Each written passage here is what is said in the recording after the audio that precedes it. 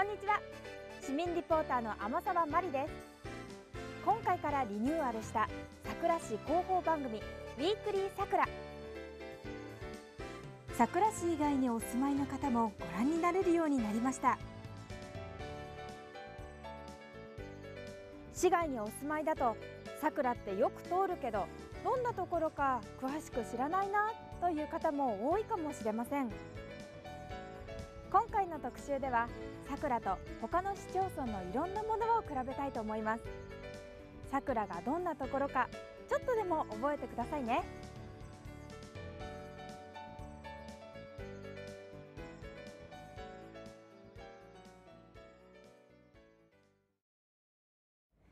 皆さんはさくらと聞いて何を思い浮かべるでしょう？さくらといえばチューリップを想像する方が多いかもしれませんね。オランダ風車を背景に色鮮やかに咲くチューリップ。関東最大級の規模でチューリップフェスタ期間中は毎年10万人近い人が訪れます。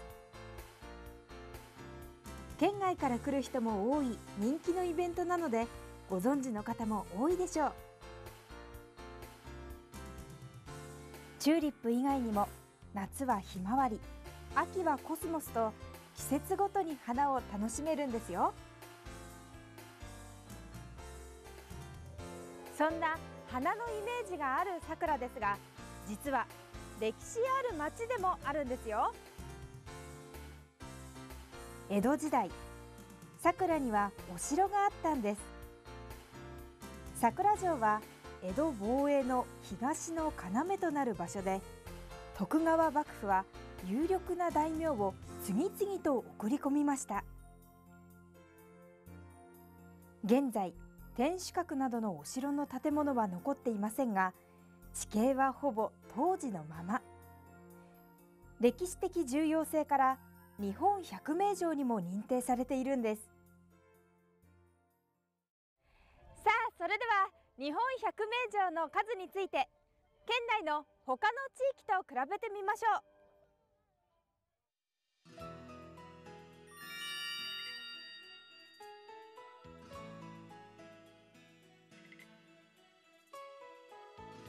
桜にある百名城は桜城の一つ。それに対して桜を除く千葉県全体ではゼロ。つまり千葉県内で日本百名城に認定されているのは桜城だけなんです。桜は日本遺産にも認定されているんですよ。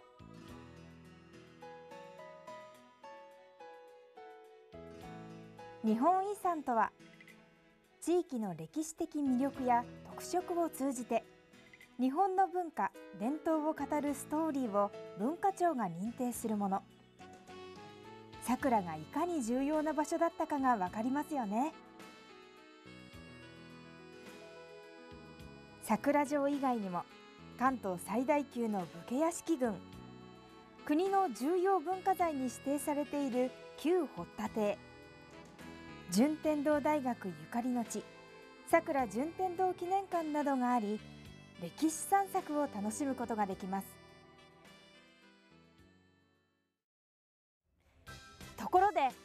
さくらがどこにあるのか皆さんご存知ですよね？桜市は千葉県の北部チーバくんのほっぺのあたりに位置しています。面積はおよそ100平方キロメートル。そんな桜市千葉県で何番目に大きいのか比べてみたいと思います。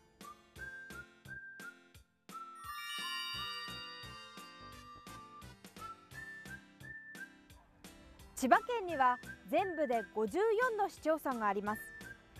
上位から順に見てみましょう。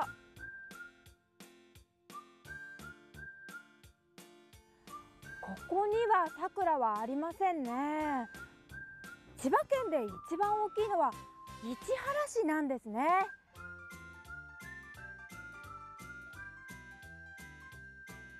11位から先を見てみるとありました。さくらは17位なんですね。ちなみに佐倉市の面積104平方キロメートルを東京ドームで換算すると2200個分。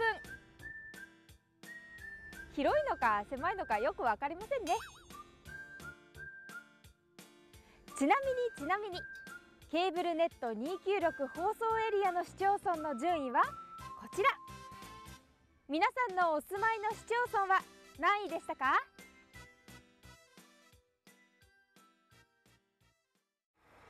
最後に比べるのはこちら。大和芋です。知らない方も多いかもしれませんがさくらは大和芋の産地なんですよ。さくらの名産大和芋。生産量は県内で何番目なんでしょう？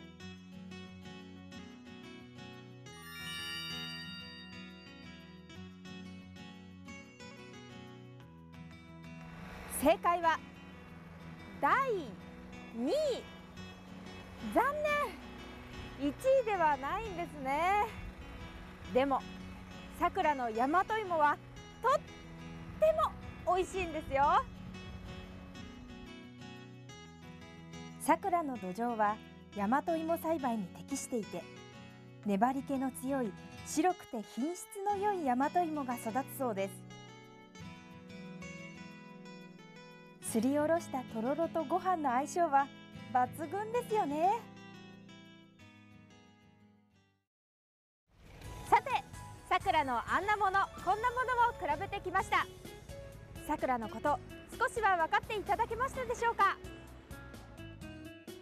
本当はもっといろいろとご紹介したいところですがお時間も迫ってきましたので今日はこの辺でさくら市広報番組「ウィークリーさくら」はさくらにお住まいの方はもちろん市外にお住まいの方にも役立つ情報をお届けしますのでぜひこれからもご覧くださいね。